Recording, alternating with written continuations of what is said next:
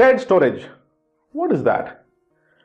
If you had seen my playlist on ASM, I had given you how storage has evolved and it has come to a situation where generally database servers don't have local storage to keep database files. They keep it in storage servers to improve availability and performance. When we come into an RAC database, the very fact that multiple instances would have to talk to the same database, it simply means the database should be on a shared storage wherein instance 1 and instance 2 which are running on two different nodes should be able to access the files, read, write, do all operations that in general a single instance would have done. But now I could have four nodes, eight nodes in a cluster. The shared storage should be capable of providing sufficient IO capabilities as well as the ability for multiple nodes to do read write on the same set of files. Data files will be read and written to by multiple instances. Redo log files will be written to by multiple instances.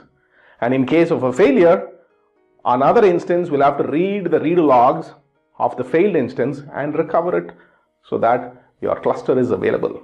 That's the first part. But at a clusterware level, to maintain the cluster, there is something called as a voting disk. The voting disk is basically a storage pole. Every node should be clear that it is able to access the shared storage. The logic is very simple. If a user is connected to a particular instance, he has performed a DML and he has performed a commit. Now, this node on commit should write the changes into the redo log file. Since the redo log file is in shared storage, this node should have access to the storage. Thereby, all nodes should have access to the storage so that it can continue to be part of the cluster. To identify this, there are specific files called as voting disks which are part of the same shared storage in which the database files are kept to which every node will go and write a message saying that it is able to access it.